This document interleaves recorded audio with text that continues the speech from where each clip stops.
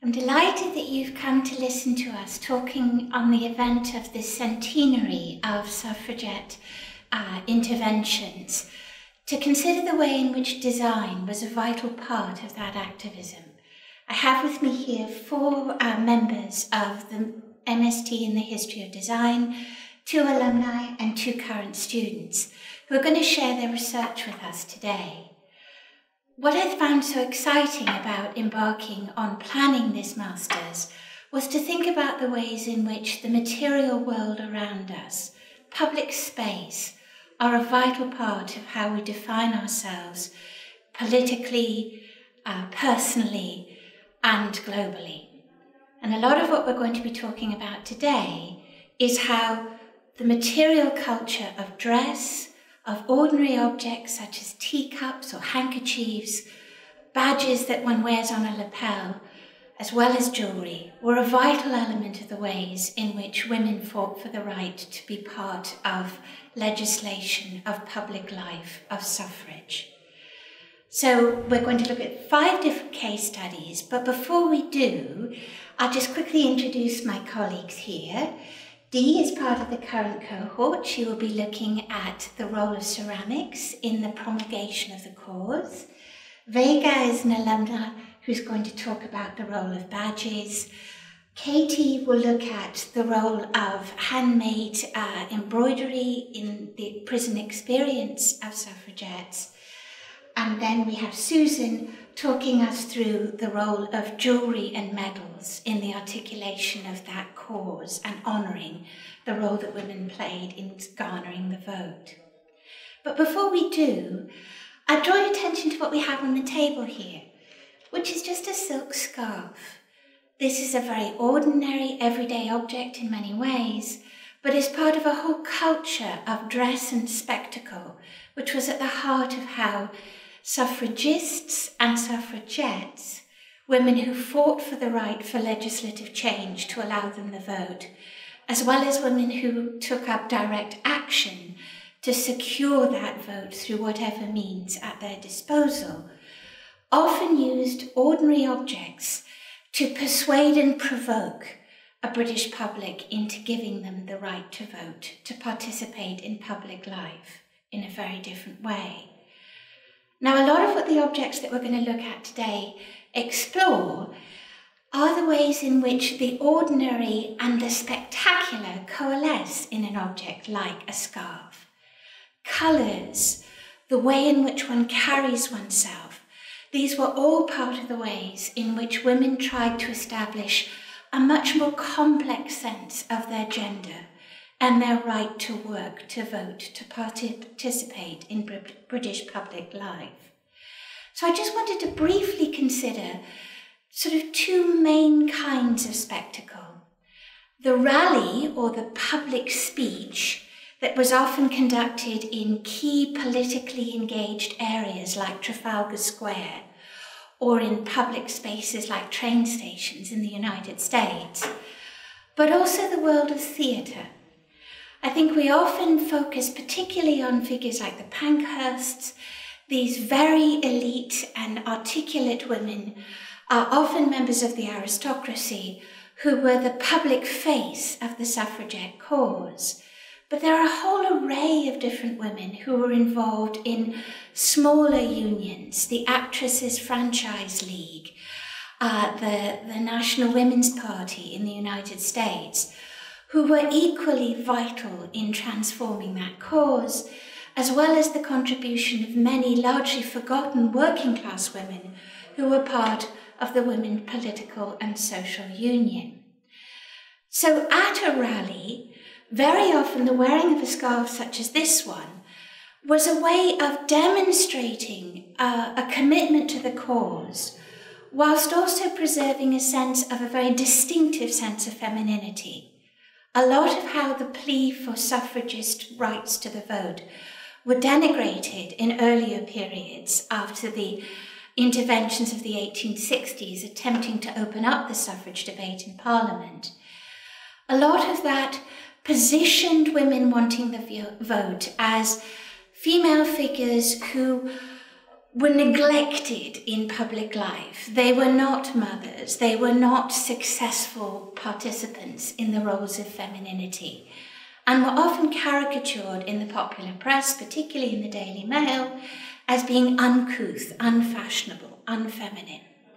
Now, an important dimension of the suffragette intervention was to use simple but elegant dress as a way of articulating a distinctive femininity not corseted and constrained in the way that high fashion had dictated in the Victorian period, but equally not perhaps the vocabulary of the blue stocking that was so much of how figures like Barbara Bodichon and Cambridge were denigrated uh, for their efforts to secure university education for women. So, what's fascinating to me is the variety of forms of public dress and accessory that women deployed to articulate this different kind of femininity. That often involved the wearing of very plain white clothing, but with a so called statement hat, often with floral motifs. Now, if you saw 40,000 women marching as were involved in the coronation procession of 1911, all wearing white dresses, but wearing subtly different coloured scarves or insignia, uh, such as the brooch that Vague is going to talk about, you have a wonderful sense of individuality and collectivity, a commitment to a cause that allows for your personal identity. If you're an artist, you would wear blue and silver. If you're an actress, you'd wear pink, green, and white. If you're part of the WSPU, you would then wear uh, purple, green, and white. And I think that sense of using colours, of using dress, as well as comportment, was a lot of the way in which the, go- the vote was secured. Now, this public spectacle of pageantry wasn't just about elegance. A lot of how American women fighting for the vote articulated the intensity of their commitment was to actually wear the workhouse clothes that they had been forced to carry and adopt when imprisoned for their silent sentinel protest outside the White House in 1917. This became a kind of badge of honor. They were ugly, they were calico, they were dehumanizing, but the important political point was that it made them into criminals rather than political dissenters. And that's a key activist point. If one was being imprisoned for fighting for the right to vote, it's a very different way of being punished to be placed among criminality rather than being held as a political prisoner. And this is a feature that I think will come up in Katie's intervention as well as Susan's. I'm particularly interested in theatre design and there's a wonderful actress who was part of a set of Shakespeare productions at the Savoy Theatre between 1911 and 1914. Lillah McCarthy was part of the Actresses Franchise League, which was a group of London actresses, theatrical managers, and indeed uh, collaborations between department stores and the suffragette press who used new plays such as Votes for Women at the Royal Court in 1906, which replicates a suffragette rally with 40 actresses on the stage all at once to bring that cause into the public eye. But also the positioning of key Shakespeare performances as part of a way of rethinking Shakespeare's heroines as exemplars of different models of femininity. One of the most uh, impactful of these performances was a Winter's Tale production in 1911. Bear in mind that on the 1st of March in 1911, women throughout London positioned themselves in front of shop windows with small toffee hammers, such as the one that you see on Katie's lapel there. It was a larger object, this is more of a, a jewellery formulation of it and simultaneously, in a synchronized direct action, smashed those glass windows. This is a kind of political performance, forcing provocation to persuade a public to give political rights to women. Actresses often used theatrical performance and indeed their costuming and staging as a slightly more subtle but nonetheless direct way of engaging a wider public in the cause and the debate. So Lillah McCarthy, along with Ellen Terry, Edy Craig, a whole set of women who are working in a, a sort of triangle of theatres, the Little Theatre, the Kingsway, as well as the Savoy, which bear in mind are all near the Strand, which is where the main head office of the Women's Social and Political Union was housed later at Lincoln's Inn Field, which is only a, a stone's throw away, forgive the pun. Uh, this was all a central geography of suffragette agency. But in choosing to perform The Winter's Tale, you have three visions of femininity. Hermione, who is the stoical matron, Perdita, who is the flighty young ingenue, but vitally Paulina, and in the suffragette reviews of that production, Paulina is singled out as the heroine of The Winter's Tale, as a proto suffragette. She speaks truth to power. She demands a better world than Hermione or Perdita has experienced. Now, Lillah McCarthy is part of a set of actresses, as I say, who use these productions both through their characterization, but also in Twelfth Night through the subtle staging of performance to signal the suffragette cause. Importantly, the garden in Twelfth Night, and indeed Viola, who then becomes the young boy Cesario, are dressed in the suffragette colours. In green, in white, in violet, give women the vote. So that sense of using the performance of self on stage or in pageantry or in procession is a vital way in which material culture expressed the suffragette cause. And with that introduction in mind, I'm delighted to have colleagues from the MST programme present their research as current students and all Kellogg uh, members of college. So firstly, we're going to start with Dee, talking about the ways in which uh, a ceramic tea set is part of this process of persuasion. So I'm talking about an apparently very ordinary object, a teacup and saucer. The teacup and saucer is made of bone china and was made by Williamson and Sons at the Bridge Works in Stoke-on-Trent. What makes this teacup and saucer absolutely remarkable is the emblem that's transferred onto the teacup and the saucer. The emblem is the emblem of the Women's Social and Political Union, and it was designed by Sylvia Pankhurst. Sylvia Pankhurst, who lived from 1882 to 1960, was a remarkable designer. She'd studied art at the Royal College of Art and was really the design genius behind the whole Women's Social and Political Union cause. The teacup and saucer was specifically ordered for a refreshment room, a refreshment room that was going to be part of the Prince's Skating Rink exhibition that the WSPU were holding in May 1909. The design for the whole exhibition was arrived at by Sylvia Pankhurst and a group of people who were assisting her. And they produced wonderful banners um, in white, purple, and green to, to adorn the hall.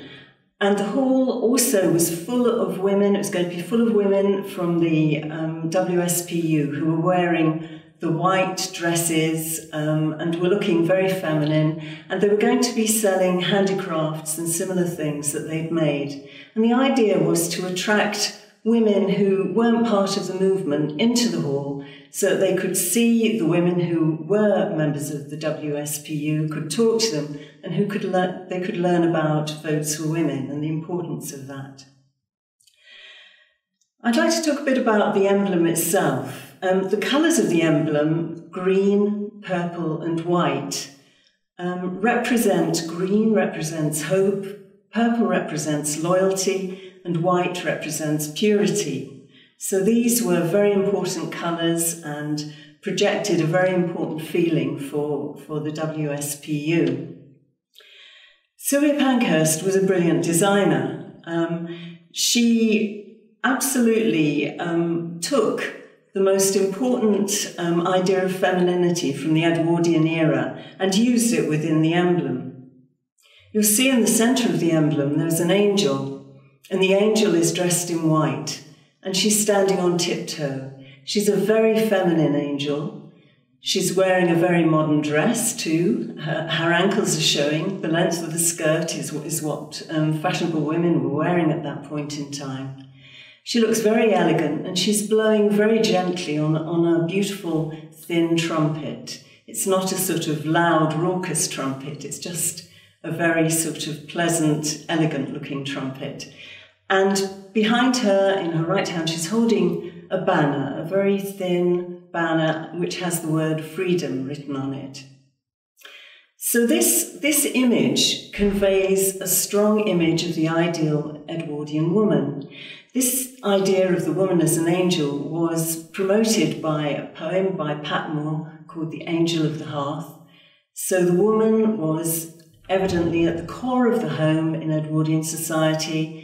Um, she was feminine, she was delicate, she was someone to be treasured within the household.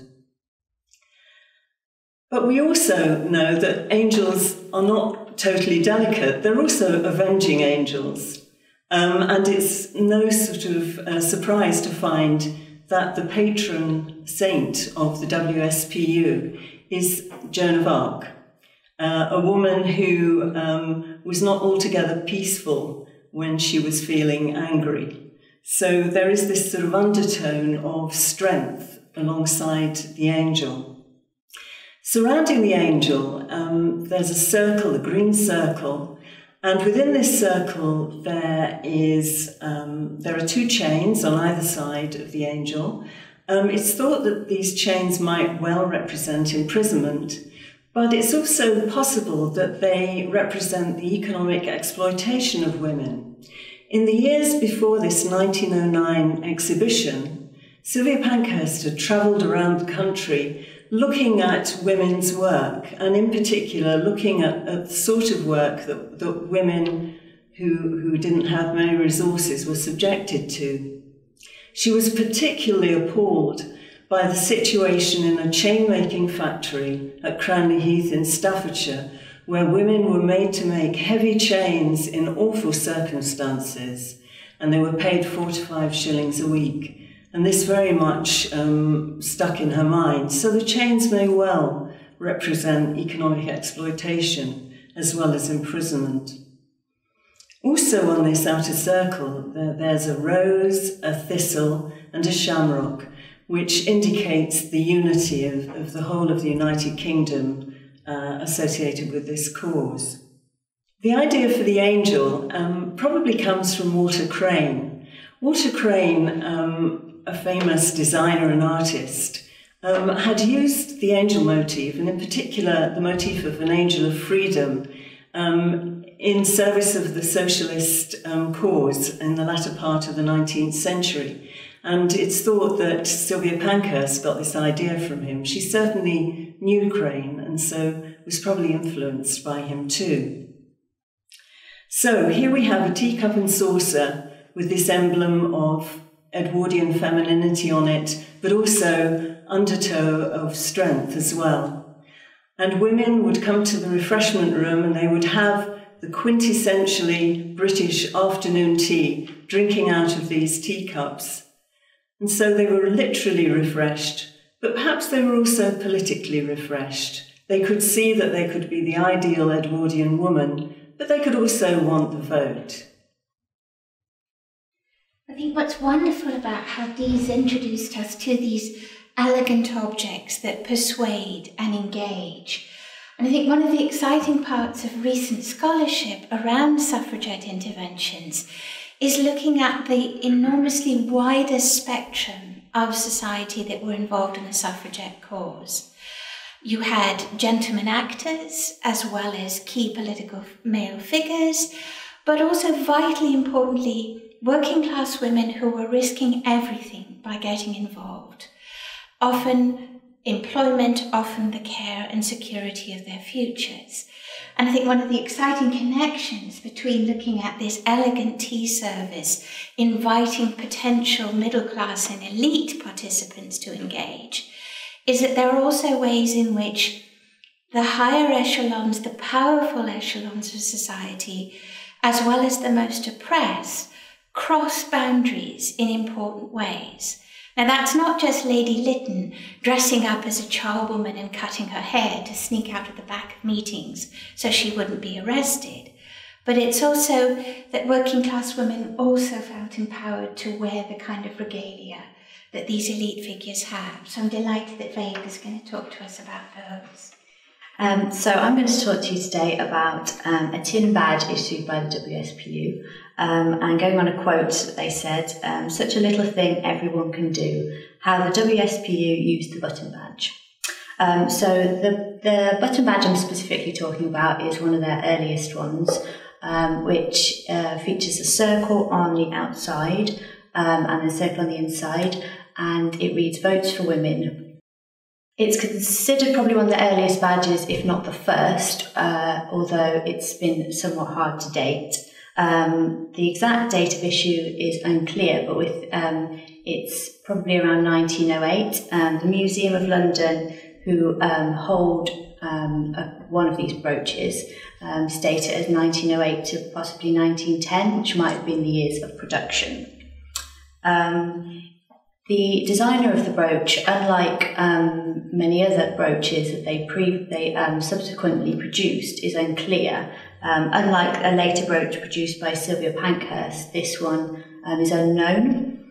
Um, as many of the WSPU members were very artistic, always creating um, banners and posters, various other merchandise and promotional items, it's likely that one of them produced the tin badge for the WSPU.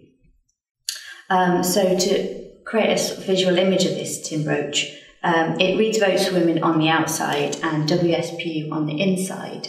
Um, and WSPU is surrounded by green chain. Um, and as previously mentioned, the chain is a common image in WSPU um, um, artistic production items. it features quite a lot in um, subsequent items of jewellery. So the Sylvia Pankhurst tin badge um, and the Holloway brooch that she also produced also include chains. Um, her tin badge features a woman stepping out from a heavy gate with chains at her feet, whereas the Holloway brooch has chains on the outside. So chains is a common feature um, within the jewellery, which may have started with this tin brooch. Um, it, words are prioritised over imagery on the brooch, um, suggesting that the direct message it was trying to send was potentially more important than um, its artistic merit. Um, subsequent brooches, such as the two I've just mentioned, um, use quite evocative imagery rather than words. Um, so the um, intention behind their jewellery changed as the campaign went on, but they started with a direct verbal message on the jewellery. Um, it could be that the three colours um, that have been mentioned, the purple, the green, and white, became so well associated with WSPU that they didn't need to use words to get their uh, message across or to promote their union. They um, could use um, more powerful imagery and the colours. Um, so, to talk a bit about the selling and the, and the um, distribution of the tin brooch, it was produced by the Merchant Portrait Company of Kentish Town. Um, and they, um, this is known because in the uh, newspaper, the, the WSPU's newspaper Votes for Women, uh, they often promoted um, the sale of other brooches, and underneath they wrote a little um, caption which said, distributors and producers of the um, WSPU badges. Um, they also had a little piece of paper which they put at the back of the tin badge, which had their name on it, so everyone knew it was them that was producing these badges. Um, it's not considered that there was an allegiance to the union through this um, for this organisation. It was they were just acted as a supplier um, because they also supplied many other um, suffrage organisations with tin badges. Um, so they were obviously just a good creator of tin badges. Um, they were sold the tin badges in various different locations. They were sold through Votes for Women shops, specially designated shops to sell suffrage items. Um, they were sold at speeches, they were sold at rallies, they were sold by street sellers. Um, and the success of various speeches and talks and rallies could be measured by how many tin badges were sold. So in their newspaper, they often talked about um, a great many badges were sold. Um, we spread the message, and a lot of people will be wearing, carrying our message around in these brooches. Um, another suggestion in the newspaper was that um, members buy a multi pack of tin badges and then sell them on to their friends. So they buy a pack of 12, keep one for themselves, and then sell them on. Uh, and the low cost value of the brooch, which I'll go on to speak about, uh, meant that this was possible, whereas many of their other badges, such as silver enamelled ones, uh, it would have been very difficult for them to buy 12 and then sell them on, whereas the tin badge, it was potentially an achievable thing. Uh, so the multiple channels of distribution that they used for this badge suggested um, that it was a very important part of their campaign using the badges um, because they really focused on each of their events to make sure that badges were being sold. Um, and there's many uh, instances of people going on holiday, suffragettes going on holiday and selling badges to people as they go around. So particularly if they're travelling around different parts um, of the UK, they try and spread the WSPU badges around with them.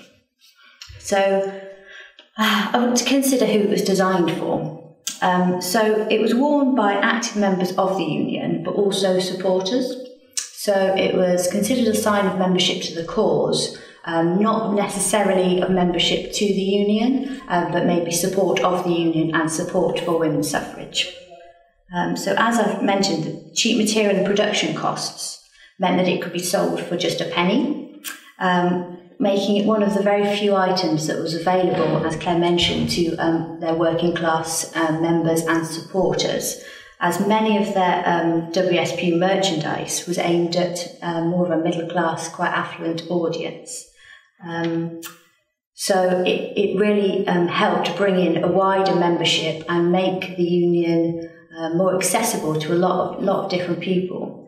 So it suggests that the production of this tin badge um, points to an active decision by the WSPU leadership to um, widen their base and make themselves seem um, much more um, inclusive by producing this tin badge. Um, speaking of the um, leadership, I've noticed that a um, lot of their the WSP leadership's portraits that produced for postcards and promotional items, none of them are ever wearing the tin badge in these pictures. Uh, they're more likely to be wearing the Holloway brooch or the Hunger Strike medal, which are brooches that were produced after the tin badge and were awarded rather than being purchased. So it suggests potentially that um, they took more pride in these that were all, that were considered medals because they were being awarded for acts of militancy than necessarily they did in a tin badge that they purchased. So um, it could be that the button badge was for supporters and less active or maybe newer members of the union who hadn't yet engaged in um, militant action. So it was almost like the first the first level of um, WSPU jewellery. Um, so now I'll talk a little bit about why it was worn. Um, it linked in with many other aspects of their material culture, which had um, the primary aim of promoting the cause of votes for women. Um, more so than any of their other items, the brooch provided a constant message. By wearing it on the body, um, it was quite a personal message and it could be worn at all times. And as the wearer moved about their daily life, they would um, constantly be wearing and moving this message around with them. Um, articles in Votes for Women newspaper stated the importance of wearing the badge at all times. So the WSPU were very um, aware of the importance of or the significance of this badge and how much um, how how um, relevant and useful and supportive it could be for their campaign.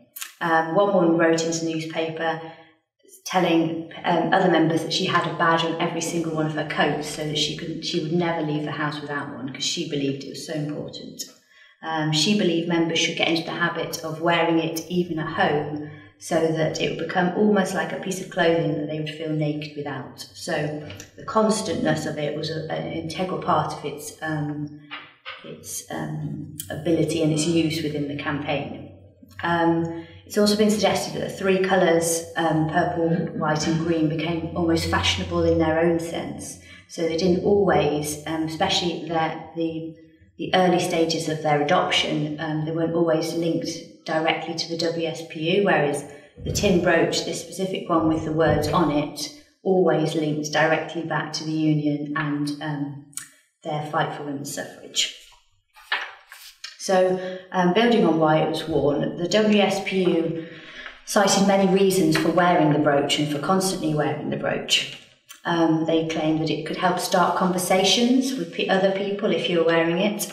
It would help enlighten people on key campaign points. So, um, anything that maybe was putting people off joining the union could be um, discussed and could be, um, they could maybe persuade new members to join um, by um, highlighting that they were a member themselves. Um, so it could help bring in new members and it could also signal members to each other. So if you were at an event, you could you would notice, ah, oh, there's some other WSPU members here. Um, another important part of its ability was that it could visually communicate the large support for women's suffrage, because um, it was suggested that there wasn't much um, call for women's for the women to have the vote. People didn't want it by, but by wearing the brooch, it could be seen that a lot of women did support this idea. A lot of men also supported this idea, um, and it could almost create a constant, large-scale support for um, the cause. Diversity amongst wearers also helped to dispel the idea that we've already talked about that suffragettes were um, a band of hooligans, to quote the newspaper, um, and they suggested the more quiet and unassuming the wearer, the better, and that would um, even better for dispelling this idea. So going back to the original quote that I um, read out, which was such a little thing everyone can do, I just want to um, discuss whether it was such a little thing that everyone could do. It was obviously a tiny object, but was it such um, an easy thing and a small thing for people to wear it? Um, so, an article in Votes for Women said that wearing the WSPU badge invariably attracted attention and they made the wearer very conspicuous. Um, unlike walking in a protest, march, um, or being a member of a rally, it was a very individual act of protest. Um, uh, and you may, maybe wearers often felt alone walking down the street wearing this badge. Um, so, it required some uh, considerable level of bravery and courage to wear this small brooch. Um, however, feelings of discomfort were um, countered by the union by the suggestion that any member not wearing the badge should maybe feel ashamed when um, so many of their comrades were doing so so much more courageous things for the cause, um, with many serving time in prison and enjoying force feeding for the cause. So, as a militant organisation, um, this was considered um, not not a um, difficult thing to do. Um, however, one young woman recalled her mother's displeasure when she came home wearing one of these tin badges. Um, she, um, the young woman was also worried that her employer may also take offence and that if she was seen wearing it, she could lose her job. However, rather than remove it, she hid it under the lapel of her coat. And although no one could see it, the knowledge that was there gave her confidence. This woman never actively took part in the suffrage campaign, um, however, she recalled that owning the brooch uh, made her believe in her abilities in herself um, and gave her um, more confidence. So, in this instance, the badge transcended its role with the WSPU and played a wider part in the emancipation of women. Oh, it's wonderful to see the variety of publics that get involved with the suffragette cause and the range of objects through which that commitment or that invitation, that provocation is articulated.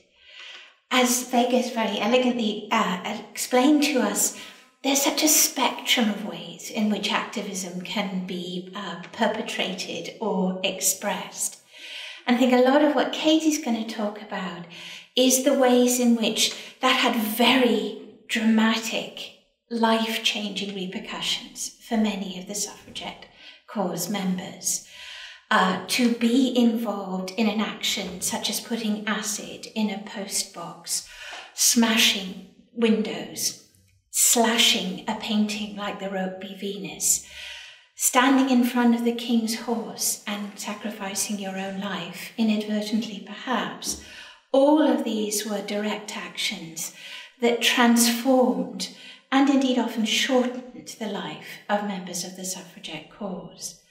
But many were imprisoned, and during that imprisonment, horrific torture was enacted upon them, particularly through force feeding.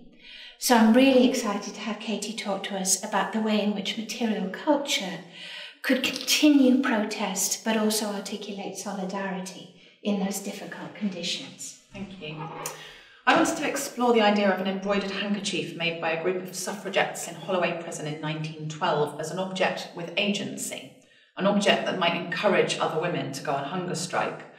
I used three methodologies to do this. Semiotics, which interprets acts, objects, and images as signs, cultural memory theory, which looks at material objects as makers of collective memory, and actor network theory, which examines an object within a network of people, things, and social forces. Some of the things I found using semiotics were that third division prisoners, so criminals rather than political prisoners, Claire made that distinction in the introduction, were denied pens and paper. But embroidery was allowed because it was considered ladylike. So including the words worked in Holloway prison on the handkerchief was a statement of defiance. The handkerchief has signatures on it, and collecting signatures broke prison rules. So that was an act of rebellion. Signatures also evoke petitions, so that symbolised the political voice. And they mimic, mimic a tradition in which guests embroidered signatures for their hosts after a, a nice stay in somebody's house. So in that way, they mocked the women's incarceration. Toffee hammers, the portcullis, and the prison dress arrows all appear on the handkerchief. And these are things that also appear on brooches awarded to militant suffragettes, so this can be read as a badge of honour and the handkerchief can therefore be read as a badge of honour too. So having looked at all the many symbols on the handkerchief, a more nuanced semiotic analysis, allowing for Roland Barthes' motivated relationship between the signifier and the signified, so the, the icons on the handkerchief and what they mean, revealed the transformational power of representation. Terrero's handkerchief was made to mean through the signs of the subculture of women's suffrage, and if those in power define the relationship between those signs and what they mean, Terrero was reclaiming power. In the second methodology, cultural memory theory, as defined by Marita Sturken, I adapted her perspectives into three women's work, naming names, and ownership. So, firstly, I'll look at women's work. As has been mentioned a couple of times now, the suffragettes were a really diverse group of women, and working on embroidery, women's work, together helped to unite them. But in calling for the vote, they threatened the very cause they were fighting for. Anti suffrage campaigners asserted that respectable, respectable women don't want the vote and organised women don't deserve it. Synonymous with chaste and domestic femininity, Terrero's skilled needlework positioned her as a dignified woman, even while making unwomanly demands. Demonstrating that women could both want and deserve the vote. And finally, the delicateness of her stitch, supposedly proof of her vulnerability as a woman, was in stark contrast to the content that showed her strength and the strength of the other women on hunger strike with her. Embroidery might have been the only tool women had at their disposal in prison, but it was deployed with deft brilliance. The second perspective of naming names comes from cultural memory theory's roots within identity politics and its tenets of proclaiming one's identity and declaring that identity as crucial to one's ability to speak. Signatures, and identification of the self, particularly in the context of Victorian autograph collecting and belief in penmanship as character, proclaimed these women's identities so that they might speak. Ownership, my final lens within cultural memory theory, encompasses both author- authorship and audience. Despite Jane Terrero's credit as the author, the other women's involvement makes this a collective work, and its audience is evolving too, with the Museum of London's Vote for Women exhibition positioning it as part of today's gender equality debate. In a process that Hebdige calls a magical appropriation of humble objects, Torero had turned a utilitarian handkerchief, a length of ribbon, and a postcard into an object of testimony, resistance, and protest. But in what ways did the handkerchief itself have agency? Moving from naming names in cultural memory to listing actors in actor network theory, categorizing the actors raised so far into human, object, and social shows the extent to which the semiotic and cultural memory analysis has already started to shift the location of agency from human to non human actors. Encouraged to embroider because it was a womanly pursuit in contrast to their crimes, the women were in fact creating an object of protest and therefore the handkerchief shifted the power dynamic and their relationship with their, with their prison guards. The addition of the photograph onto the handkerchief negated its function, which raises the question of purpose. But positioned alongside other badges of honour, it played a similar role. Katie Gliddon's prison diary describes her shame at her refusal to go on hunger strike, and that implies an equal and opposite dishonour for those who did not earn such badges of honour. Terrero donated the handkerchief to the Suffrage Fellowship in 1927 before their whole collection was gifted to the Museum of London in 1950. As part of the current exhibition, the handkerchief continues to draw attention to women's rights, both then and now, and has inspired contemporary objects such as the Girls Gone Wild zine, a hand embroidered magazine which promotes radical feminism today. Terrero's handkerchief was created as part of a movement that sought not just the vote, but ultimate gender equality. Women's suffrage was partially awarded in 1918 and fully in 1928, but it quickly became apparent that equality had not been achieved. Almost a century later, as hashtags such as MeToo and Time's Up trend on social media in protest against sexual abuse, the fight for equality lives on. So I think we've got a wonderful sense there of both the memory but also the currency of the debates that we've been looking at.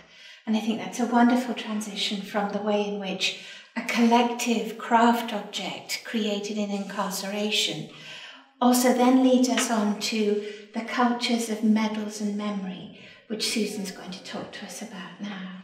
Yes, I'm talking about the Holloway brooch or the Holloway prison brooch, which is on the front cover of the magazine here that I wrote an article in for the Society of Jewellery Historians.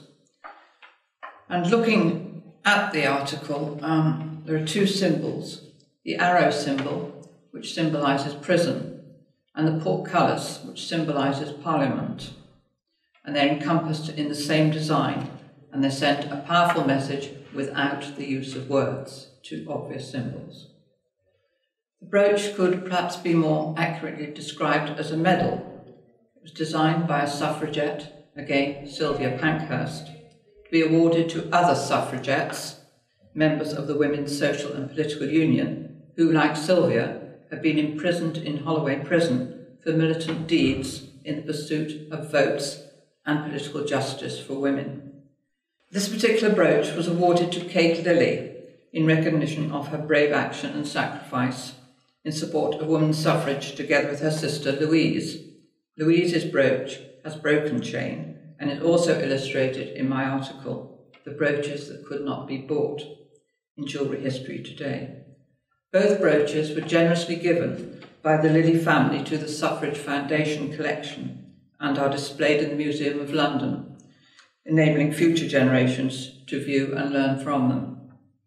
The sisters were allocated adjoining cells in Holloway Prison, and their sentence for throwing an object through a window at the War Office was two months with hard labour. Most suffragettes targeted shop windows, but these sisters were members of the Lilley and Skinner shoe manufacturing company family, so they perhaps thought it was not an appropriate action in their case. But it was a bold act indeed, as their father was a JP, and they risked being classed and treated as criminals rather than political prisoners. Over 200 women were arrested with the Lilley sisters after the March in after March 1912 demonstrations that coincided with a discussion in Parliament on the Conciliation Bill.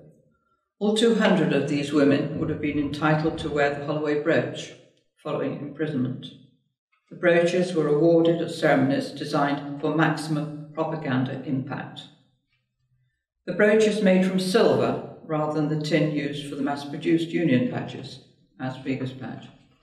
But the material it was made from shows the importance of its status to the Union.